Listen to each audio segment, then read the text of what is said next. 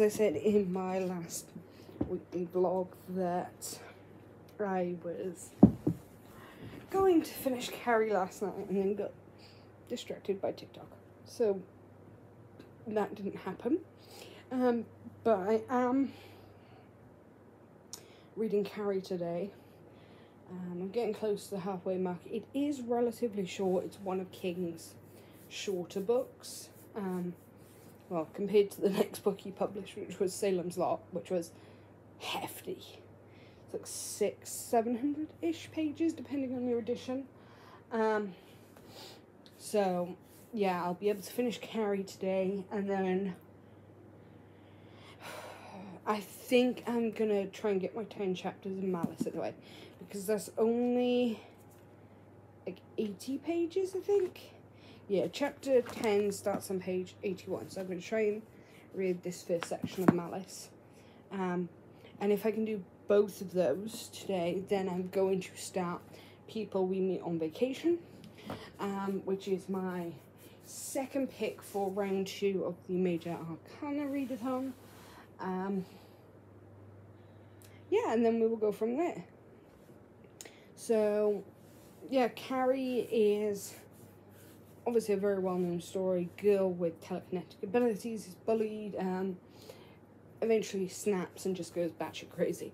Um, so yeah, uh, I'm really enjoying it. Um, if you've watched the movie version, um, the original movie version with Sissy Spacek, um, it plays out almost the same, except in the book we get um, excerpts of interviews, publications, journals, uh, memoirs about what is known as the White Incident, um, with what happened to and caused Carrie White to go crazy. Um, so it's, I prefer in book format almost because you get the plot in the present, um, but then you're also getting reflections from people in the future on these events, and you haven't got to those events yet, so it adds this sense of foreboding that something really bad is going to happen soon. Um, so I really like that, and we don't get that really in the movie because that would obviously be really hard to um, adapt onto the screen. So, yeah, I prefer it ready in book format. Although I will admit that Sissy Spacek is the perfect Carrie. No offense to Chloe Grace Mort, uh, Chloe Grace Moretz, I think the surname. Um, she just comes off as more of one of the uh, mean girls in the books than the very innocent Carrie. Um, and Sissy Spacek pulls that off perfectly. Um, so yeah, um, I'm going to go back to reading that and um, I'm going to update you in a bit, probably when I finished it because it's actually really short. So um, yeah, I'll check in with you in a little bit and then we'll decide on what we're doing next. Hey guys, so um, I finished Carrie. Ended up being a 3.75 it was good, and obviously we know it was King's first novel, um, so it's outstanding by, you know, being a debut. Um, but two things that brought the rating down for me was one, a lot of King's iconic horror is off screen. We don't actually get to see it, it's left up to the reader's imagination. Um, and I felt you could have done more with that, especially the uh, telekinesis. Um, and then the second is there's quite a few books that King wrote after this that just do similar premises a lot better. So, um,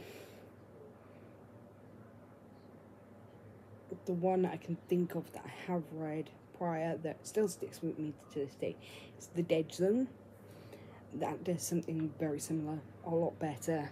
Um, and I think just King's later works in general are a lot better than his early works, which is the case for most authors. Um, so now I have read Carrie and Salem's Lot. Salem's Lot was just better than Carrie by far. Um, I do have Rage to read next, which is under the pen name Richard Bachman. Um, and then it'll be The Shining. And I have been warned in advance that the book of The Shining is very different from the movie The Shining. And I'm not sure where I'm going to fall on this because I love the movie of The Shining with Jack Nichols. Um, so I don't even know if I'm going to like the book version. But there we are. Um, but that thing um, takes out a lot of King's most iconic works, um, but also his earliest. And then we get to move into stuff, um, in my view, that's just better. We've got It to come, The Dead Zone, um, Cujo, Christine, Firestarter, um, and that's just the ones I can name off the top of my head um, that I just can't wait to get to. So that's done. Um, I think I'm going to do my 10 chapters of Malice now um, and get that out the way and get that started at least because, as I said before, this book is hefty. Um, and then I'm going to start People We Meet on Vacation. And I'll check back in with you once I've read this.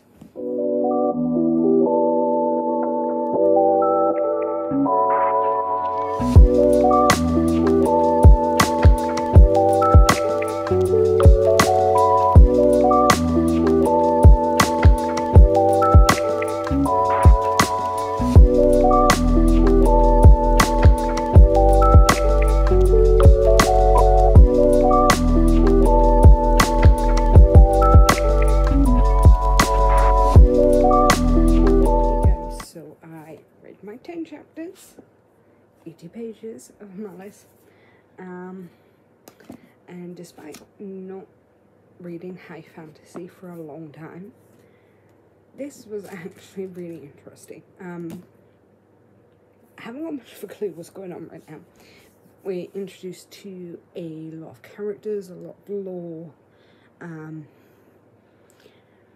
and it's a lot to wrap your brain around. But from what I can understand, a long time ago there was something called the God War, um, which was essentially a war between two gods. It um, and it impacted the humans and the giants. Um, this war led to a scourging that killed off most of the giants, um, but it was all a deception. Um, and then we're introduced to a whole host of characters. So we've got um, a king's counselor working with a queen of another kingdom to essentially usurp the um, king. Um, and he's also made a deal with this god, the trickster god, um, to reignite the god war. Um, then we've got uh, a warrior whose family was killed by giants um, in Castell. Um, we've got the siblings Corban and Clowin, um, who, you know, are growing up um, in Dun Carreg. Um, they're not of any high status, really, um, but Corbin is going to be taking what they call the long night soon, which is where boys go through trials to become men. Um, there's Veradis, a warrior from another kingdom, who's currently protecting the crown prince um, in his war band. Um, you know, th- there's a lot of different perspectives. Um, all I can really gather from this section is um, we're just being introduced to the characters, this world, this history, um, and it seems the land is on the cusp of something, um, as there are things called giant stones which contain text from when um, the giants were around, um, and those have become bleeding. Um, the Baglun forest, with Corban finds himself one day, he has this strange vision or dream, and at the very end of chapter 9, um, something happens. Um, we don't know where it is, but one of Corban's friends um, homesteads is on fire. So, yeah, uh, I can't fault John John Gwynne's writing. It's really good, really easy to follow. Um,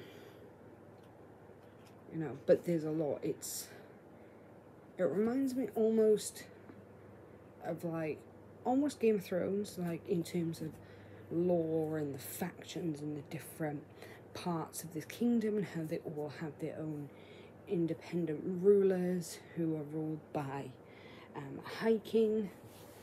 Um, so it's in terms of like um, hierarchy, some of the politics, and a smidgen of the law. It reminds me a bit of Game of Thrones. Um, I don't know how dark it's going to get. Um, I don't know whether it's grimdark. It just says high fantasy on the back, but this could be grimdark. Um, so yeah, I'm excited to see where this goes. Um, tomorrow I will be reading up to chapter 20.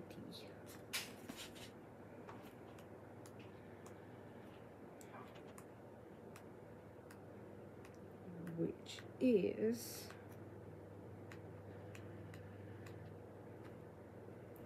page 149. So if I round it up to 150, it's only about 70 pages I have to read tomorrow, and that takes me pretty close to the quarter mark, I think. Um, so yeah, this should hopefully have no trouble finishing this before the end of the month, but I am going to read in segments because just to get back into sort of reading these kinds of books. But yeah, it was really enjoyable. There's a lot of interesting characters. My favourite character that I've just been introduced to so far would be Gar, the stable master. Um, but yeah, I'm, I'm excited to see more of what's going on here. But um, after the depressing novel that was Carrie and the slightly depressing nature of the opening of this book, I'm going to go on to People We Meet on Vacation.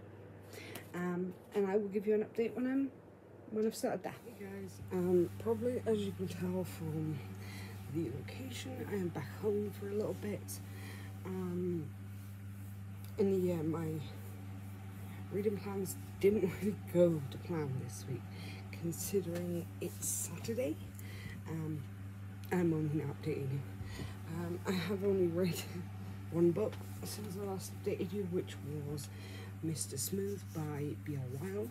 Um, and that was only a really short novella. um, but the reading bug is back with me. Um, so today I'm planning to read Sorry Not Sorry by Emily James. um,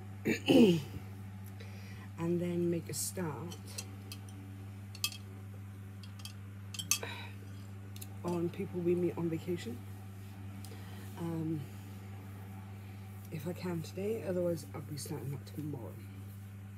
So this is the plan for today, and I'm going to update you in a bit. Guys, so I'm still at home. It's now Sunday evening. Um, it's almost nine o'clock in the evening. Um, I didn't do what I was going to said I was going to do yesterday. Um, instead, what I did is I read um, the sex tape series by Seven Rue. Now, Seven is an indie author that publishes um, both high spice contemporary books and high spice taboo romance. Um, if you know, you know about the series. I'm not going to go into too much detail for it because I don't think YouTube will like it. Um, but basically, I thought it was a trilogy. It's actually four books. Um, first book was great. Second book was better. Third book was a real disappointment. Um, the reason I'm not going to read book four is this series um, and this relationship in general relies on a kink that every time I read about it, think about it, someone mentions it, it makes me want to vomit. Um, and even though the scenes are really short, every time it was mentioned, it really put me off. It really put me off the characters and the relationship. Um, so yeah, I'm, I'm kind of done with that. But the reason I got back into reading Seven books was because of Sin. Now, Seven Rue put on Twitter that um, an image an artist had created, um, an NSFW 18 plus image, um, and basically said that she wrote a book that featured a situation exactly like the one in this image, and I was hella intrigued um, by both the image and that tweet. Um, so this is so far two books, I think. There's Sin and Sin 2. Um, so I have this. Um, but I did start another book um, that I think I got it requested from Edelweiss, and it's called A History of the Vampire in Popular Culture. Now, this isn't a chronolog- chronology or encyclopedia of vampire history. It's just the author Violet Fenn looking at the portrayal of vampires in specific media throughout time. So in the first part of the book, she talks about um, where we first see vampires or our sort of idea of the vampire emerging um, in literature, and this is in classical poetry um, and then how vampires inspired both um, Lord Byron and Mary Shelley in their works, and she ends that segment with the publication of the pinnacle of vampire literature, which is Bram Stoker's Dracula. Um, so that's kind of talking about the historical element.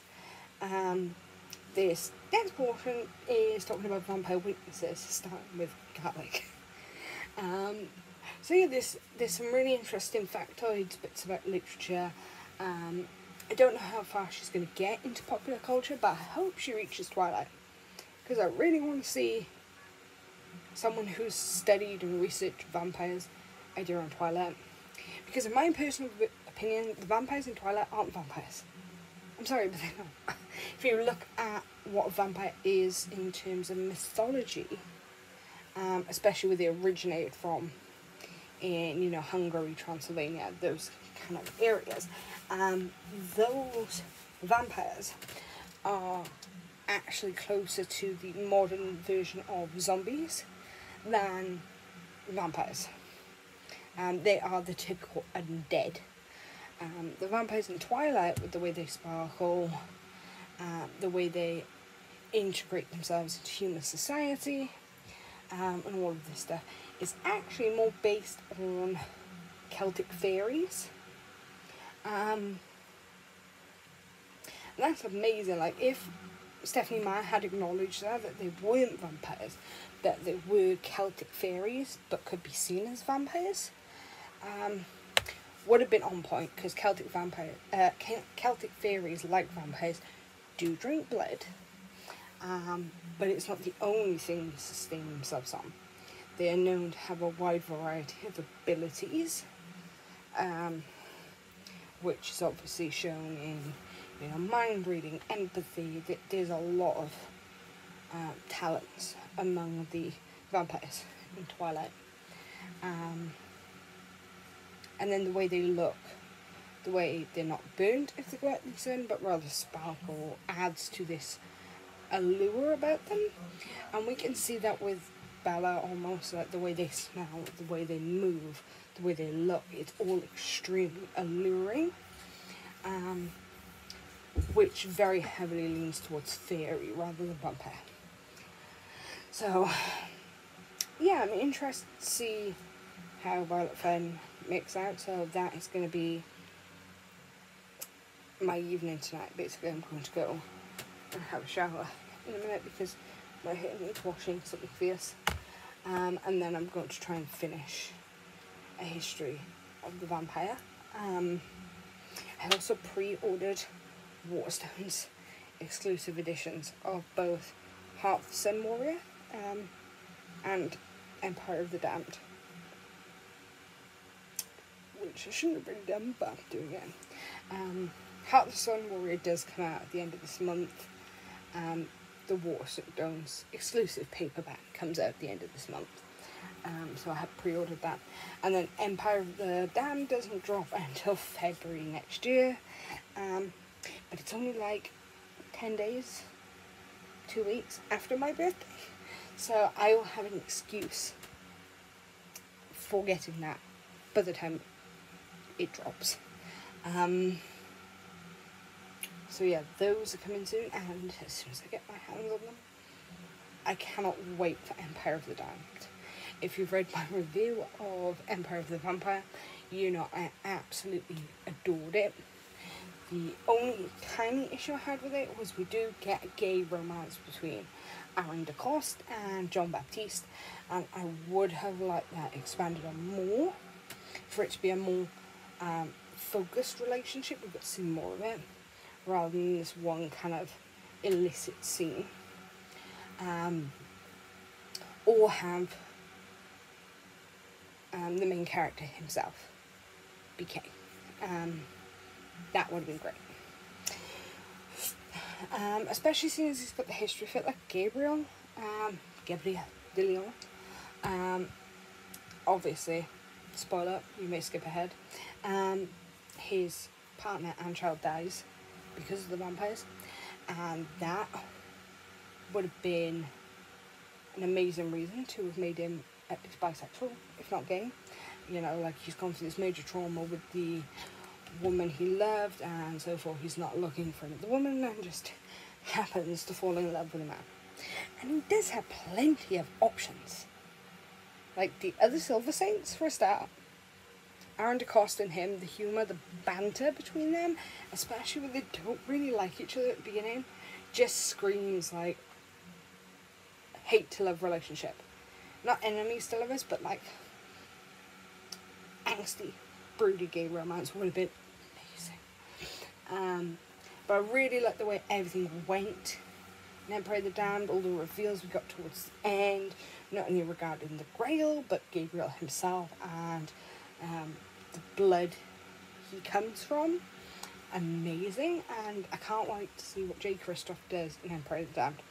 And I hope, I hope for a change, that Jay Kristoff writes more than a trilogy.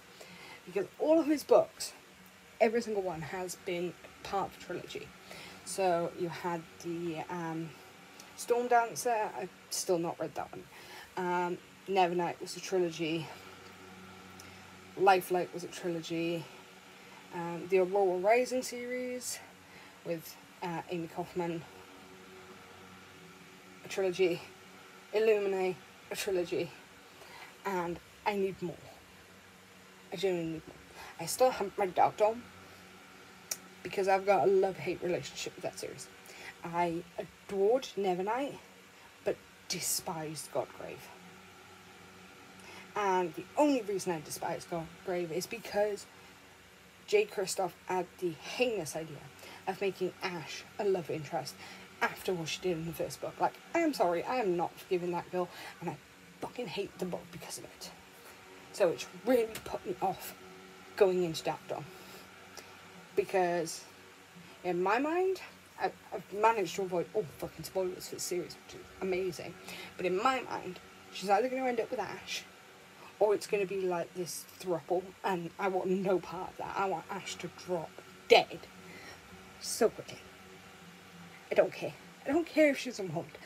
I want her to drop dead. I'm sorry. Um, so I haven't finished that trilogy, but I have read Illuminae in its entirety. Really enjoyed it. That last book especially, even though I didn't care for the main couple, the reveals and how everything tied together, absolute perfection. Um, but I'm hoping with Empire the Vampire, because the books are significantly longer than anything we've had from Jay Kristoff before, that he will actually write a longer series because there's so much he can go into. Like we do get a lot of lore and a lot of history in the first book, but it doesn't go into too much depth because you're constantly flashing back to the past and the present, past and the present, past and the present. So even when you're in the past learning this stuff, it's only really brief. Um, so I want to know more about that. I want to know about previous Silver Saints. I want to go right back to the beginning and see how Saint Michon became Saint Michon. Um, you know, and then we've got uh, this whole arc with the Grail. There's so much going on. And I want it to be longer. I want this to be like a four, five, six book series because it is arguably one of the best series Jay Kristoff has ever written in terms of setting, characters, you know, all that. It it's Jay Kristoff's. I think this is Jay Kristoff's magnum opus. Um, I initially thought the Nevernight was going to be his magnum opus, and then when he dropped Empire of the Vampire, and I read it basically as soon as it came out, and I devoured that book in, I think, two days. I binged read the entire thing in two days. Um, I knew straight away this this was going to be his magnum opus. Like, Jay, Empire of the Vampire is to Jay Kristoff what Stormlight is to Brandon Sanderson. It, oh, I can't wait. But enough said, um, I'm going to finish watching my YouTube video, go have a shower, and then I'm just going to chill and write. And I'll see you in a bit.